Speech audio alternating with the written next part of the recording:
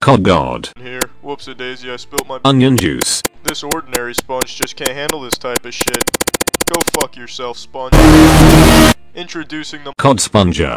It's the super absorbent Weed. block humans have been demanding since the beginning of time. It can hold eight times the weight of a rhinoceros. Where'd all the liquid go? Right there.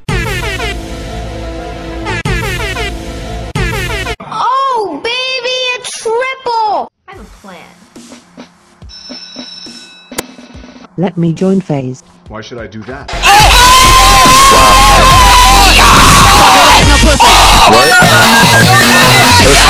What?